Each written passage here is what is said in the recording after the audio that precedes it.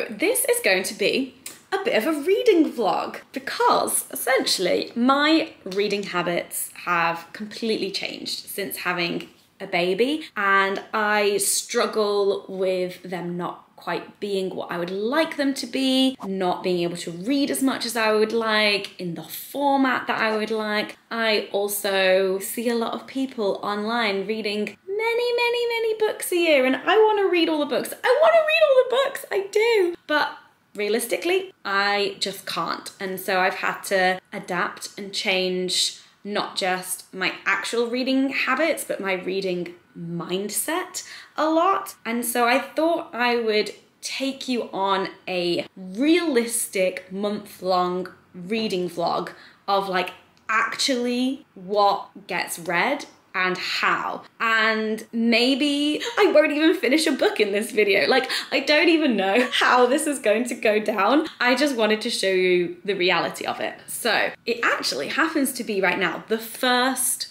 of a new month. And I have been tracking my reading in the app The Storygraph, and never before had I actually like tracked my progress in books, like pages read or minutes listened to.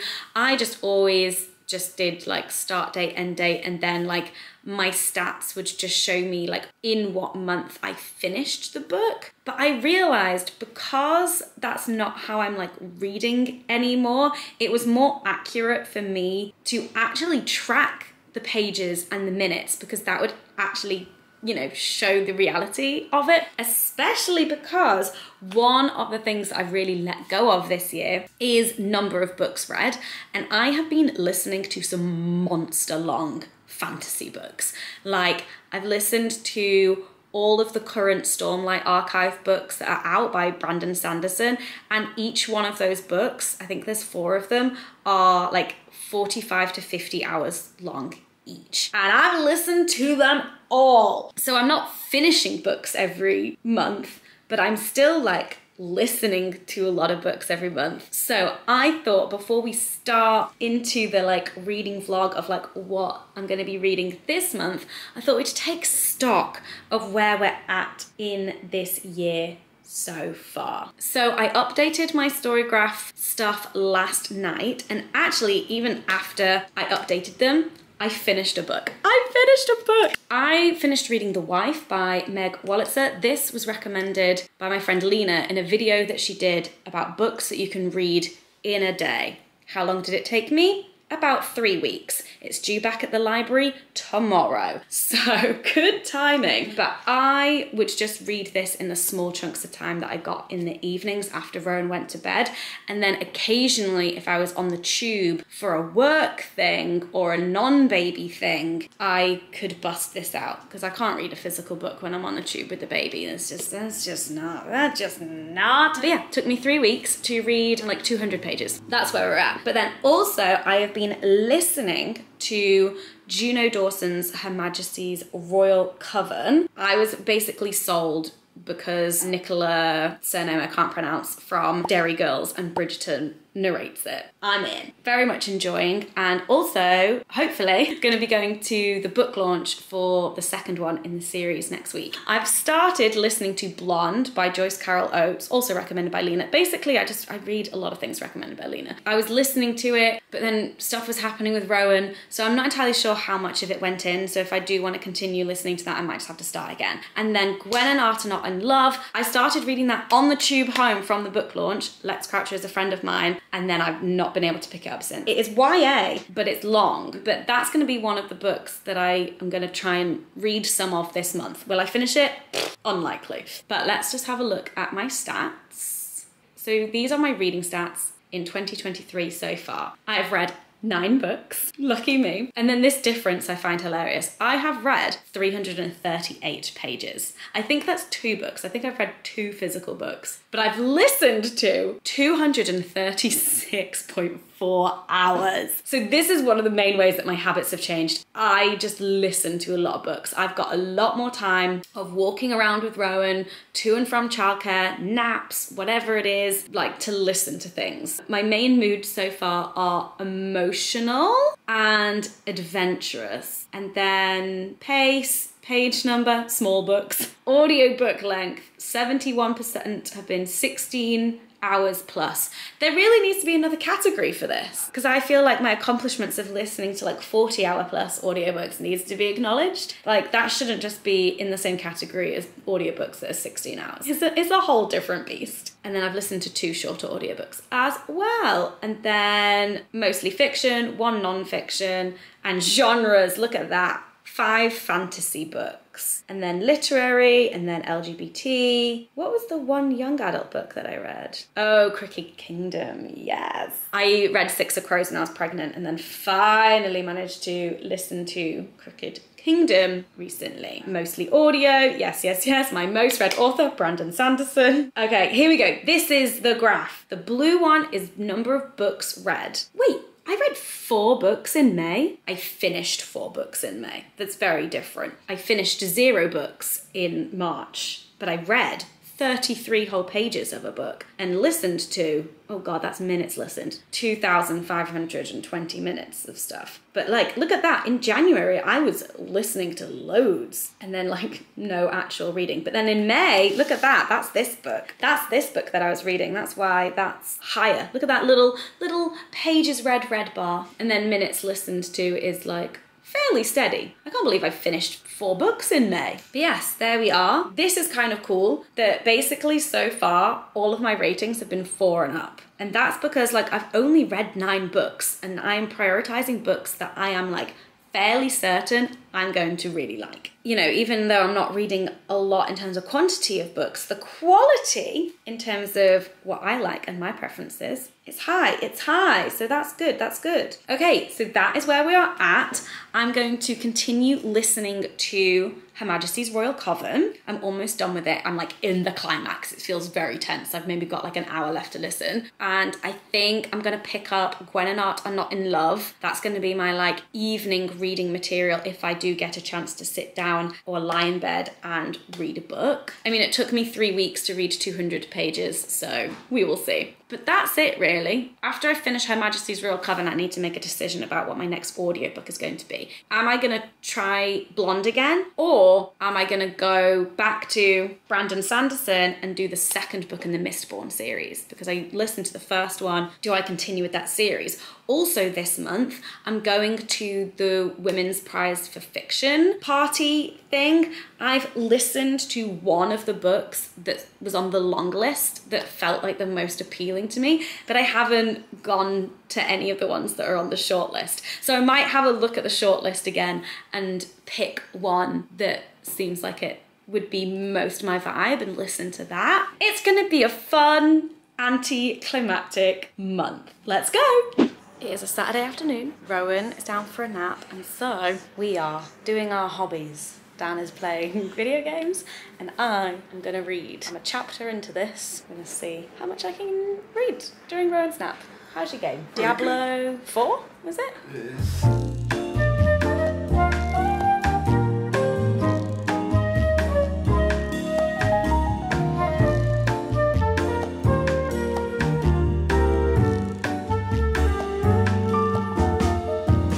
Good evening.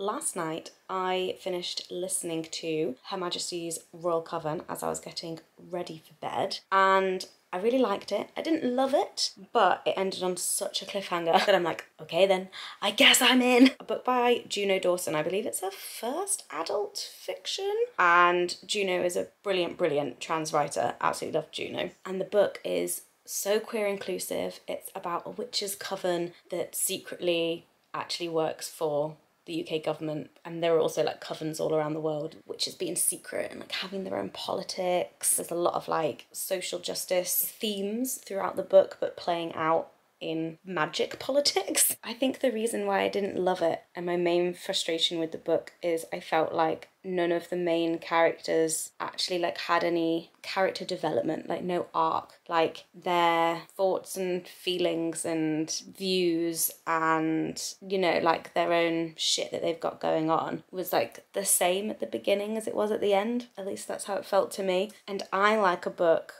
where you have like incredibly flawed individuals and they figure shit out throughout the book. Or maybe they don't.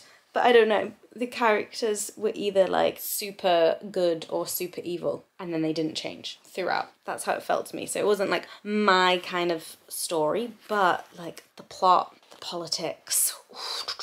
But I'm meant to be going to the book launch of the second one, The Shadow Cabinet, tomorrow night, which I'm excited about. But I don't think I'm going to dive straight into that book. I think I want to download the second Mistborn book to listen to. But for now, I am reading Gwen and Art Are Not in Love, and I got about 70 pages in last night, and I'm just hooked. I'm so in. It's another very queer book. The tagline is The Path to True Love Never Did Run Straight, which I think is great. But it's gay medieval jousting. You've got your princess and your lord, and they're betrothed, but guess what? They're into other people, so it's all a ruse, and all of our key players and the premise have already been established. You gotta love YA for just like getting to the meat of it as quickly as possible and just taking you along for that ride. I'm very much enjoying. But yeah, it's not often I actually get a chance to just chill out and read in bed. So I'm gonna read until either I fall asleep or Rowan wakes up and I have to go to his room. We're about to leave to take Rowan to his childminders and so I need to download an audiobook so that I can start a new one on my walk there and back. And we're gonna go Mistborn. And the second book in the Mistborn series is The Well of Ascension. These aren't complete beasts like the Stormlight Archive, but this book is 29 hours and 17 minutes long. So, will I finish it this month during this reading vlog? Doesn't matter, that's not the point of this. Yeah, I'm excited to get stuck back into this world. Just one day of walking and doing drop off and pickups and I'm already an hour, over an hour into the new Mistborn book. Pretty good going. But right now I am off out to Juno's book launch for the Shadow Cabinet and there is nothing like some child-free tube time to get into a physical book. So I bought Gwot with me and I'm gonna read that on the tube.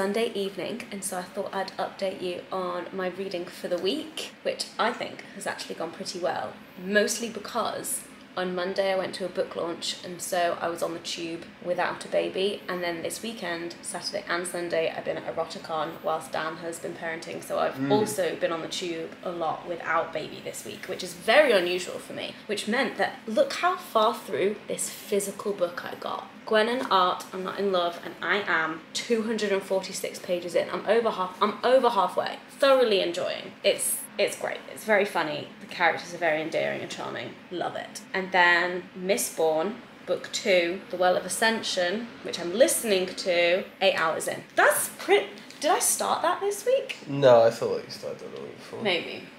But like 200 odd pages, eight hours in is uh, not even like a third of the way through this book. No, there's You're not even a quarter of the way no 21 hours left.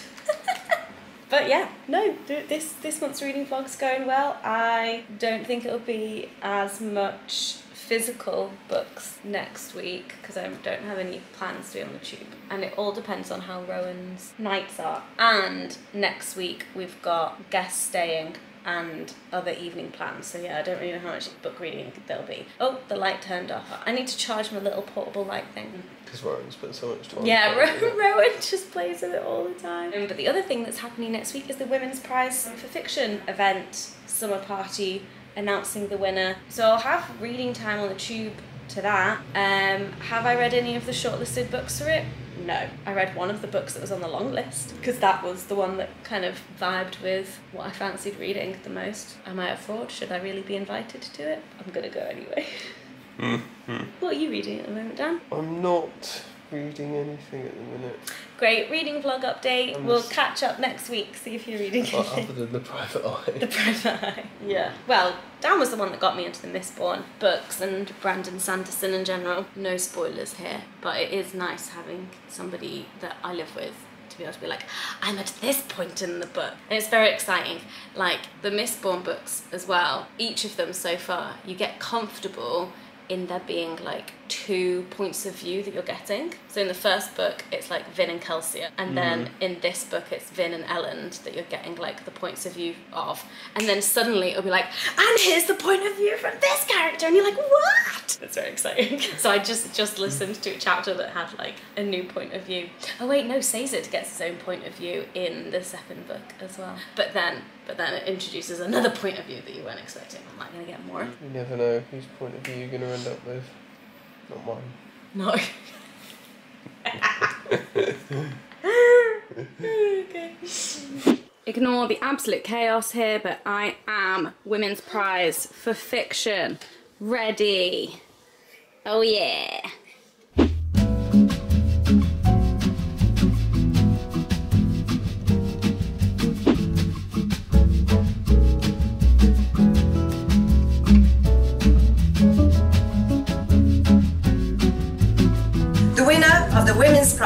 Prize for Fiction 2023 is Barbara Kingsolver.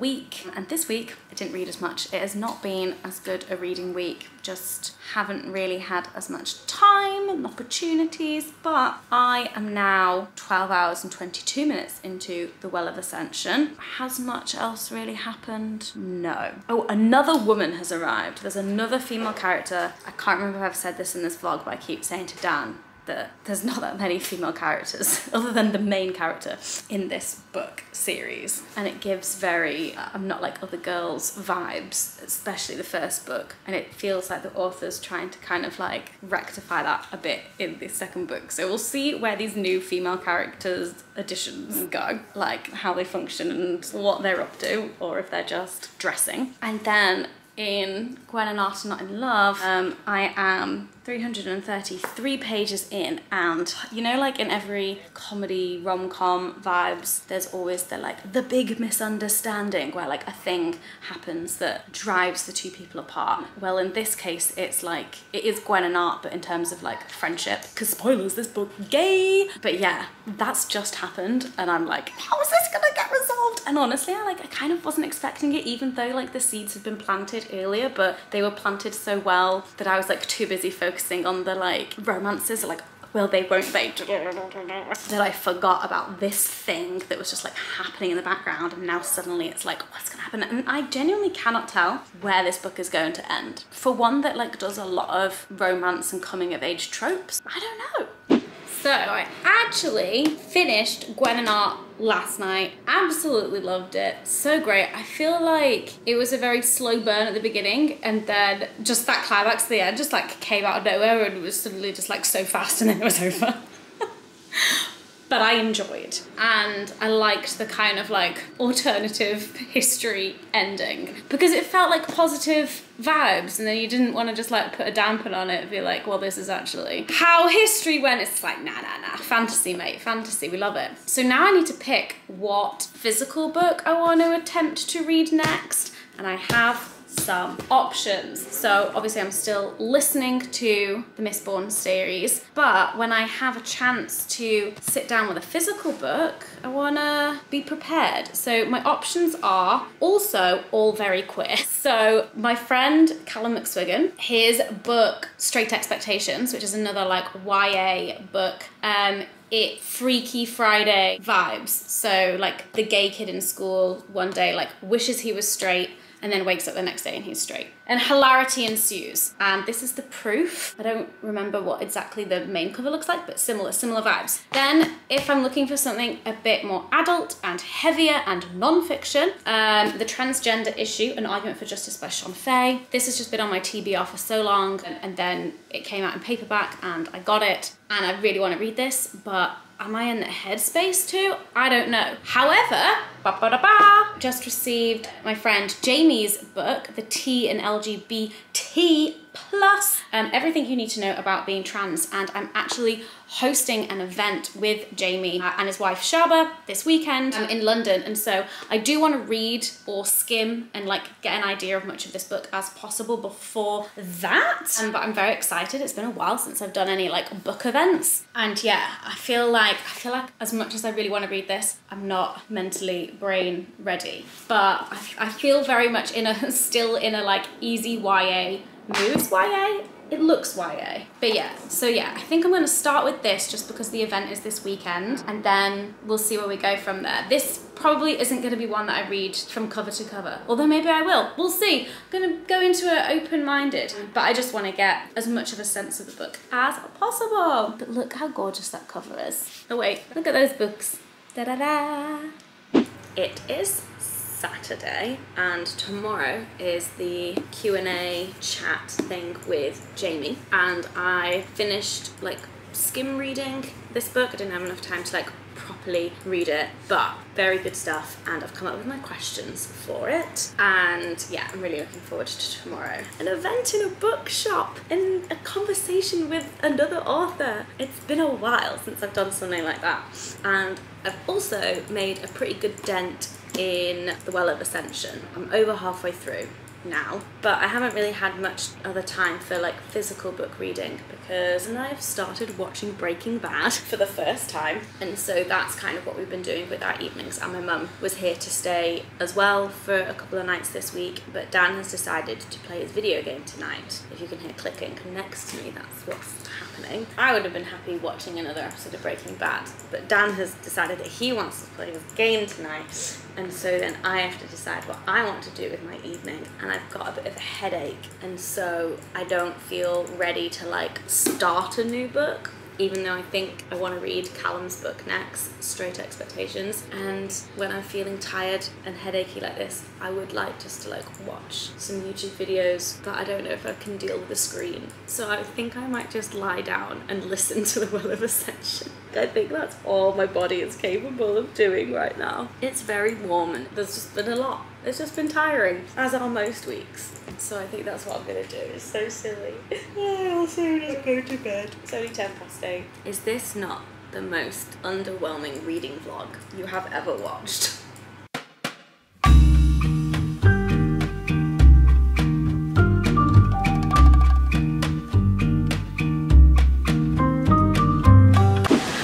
To host Jamie's book event.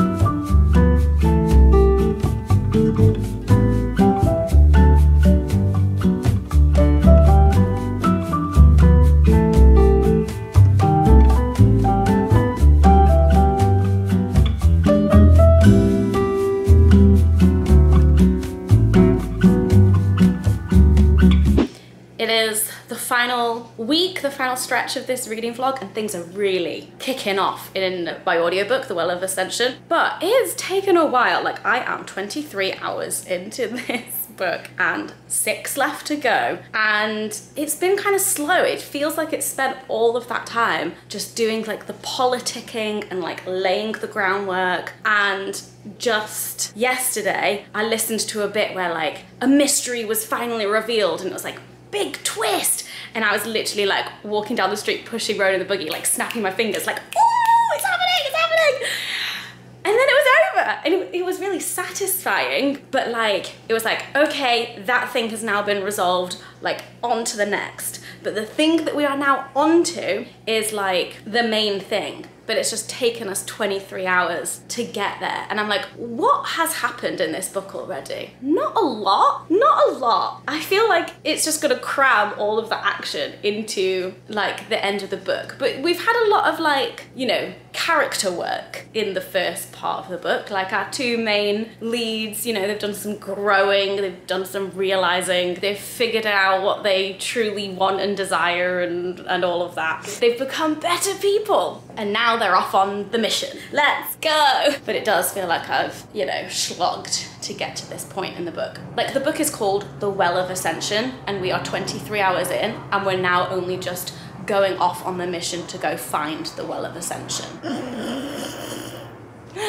it's fine. I'm still very much enjoying the Mistborn series, but I prefer the Stormlight Archive from Brandon Sanderson. And those books are even longer, but it does feel like a lot more is happening in them. And I'm a plot gal. I love me some plot. Give me plot. I don't think I'm gonna get a chance to read another physical book this month but this was meant to be a very like realistic reading vlog as a mum as someone who is working and parenting. So this is what you're getting. I really want to finish this book this week. I want to see where it gets to so i'm going to be spending all of my time listening and yeah it's good. I love it when you get into the final stretch of the book and you just like don't want to put it down or don't want to stop listening, whatever the equivalent is. It's good. So I'm gonna crack on with this book, but then at the end of the month, I'm going to recheck in with my Storygraph stats in terms of minutes and pages and number of books and all of that to see how we did this month. oh my god, I was just listening as I was literally just uploading that clip that I just filmed to my laptop and there was a payoff. There was such a good payoff and I literally was just like here just going, oh! I love it when a book does that and especially audiobooks, there's just something about it because then I feel like I talk out loud more because I'll literally just be like, oh my god! And I just had that moment there. There is a character that got introduced, one of our new female characters, the few that there are in this series, god damn it, who got introduced like earlier in the book, kind of, you know, as your classic, like noble girly girl, not to be taken very seriously.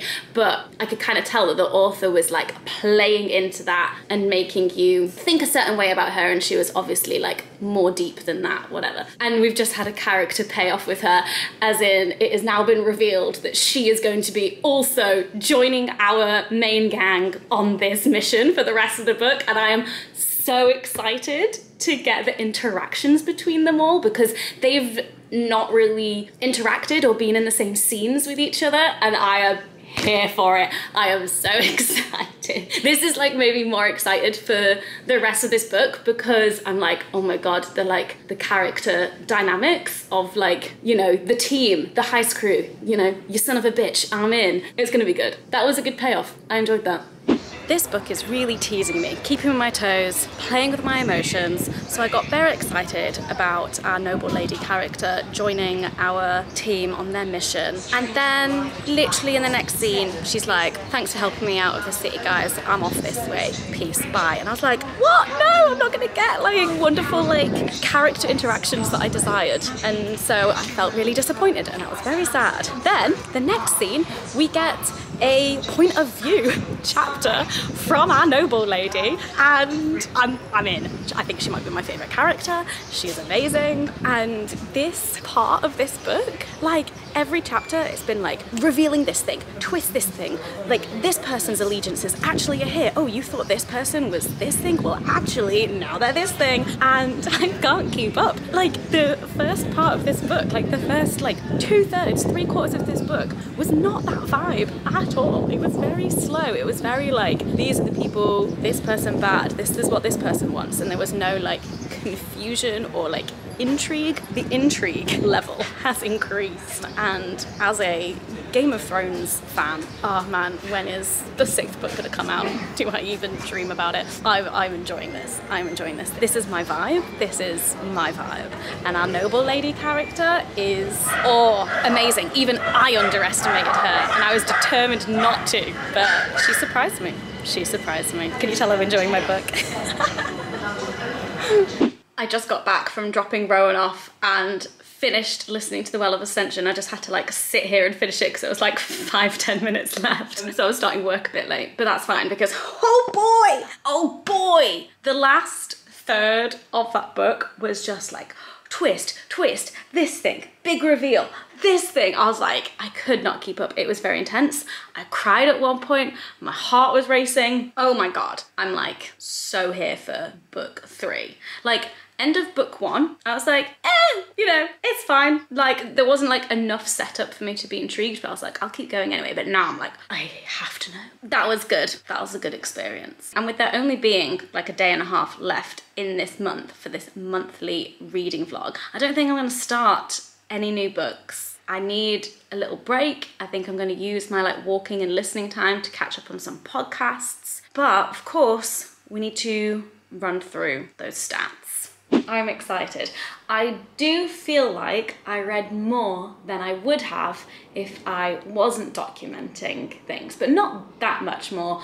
But I think by documenting it, it gave me like an extra burst of motivation to read when I otherwise wouldn't. But let's see the actual numbers. So we're looking at 2023 as a whole currently, and I've read 12 books. These are the moods, pace, page numbers, long books, long books, audiobook length, fiction, non-fiction. Look at that.